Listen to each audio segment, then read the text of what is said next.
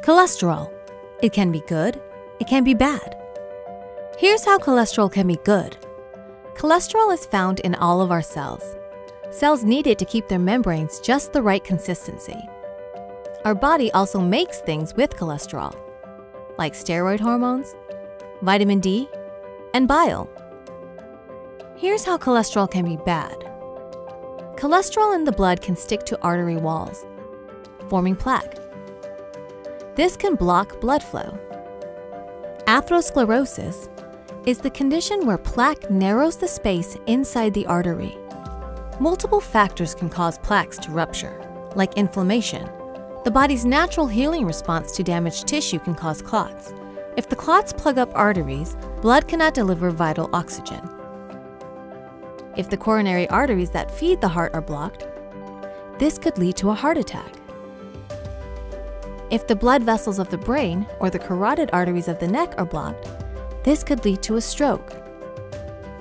If the arteries of the leg are blocked, this could lead to peripheral artery disease. This causes painful leg cramps when walking, numbness and weakness, or foot sores that do not heal. So cholesterol can be good and bad. There are also different types of cholesterol, sometimes called good cholesterol and bad cholesterol. LDL, or low density lipoprotein, is sometimes called bad cholesterol. It carries cholesterol that can stick to arteries, collect in the vessel lining forming plaque, and sometimes block blood flow. HDL, or high density lipoprotein, is sometimes called good cholesterol. It takes cholesterol away from the blood and returns it to the liver. When checked, you want your LDL to be low, L for low. You want your HDL to be high, H for high.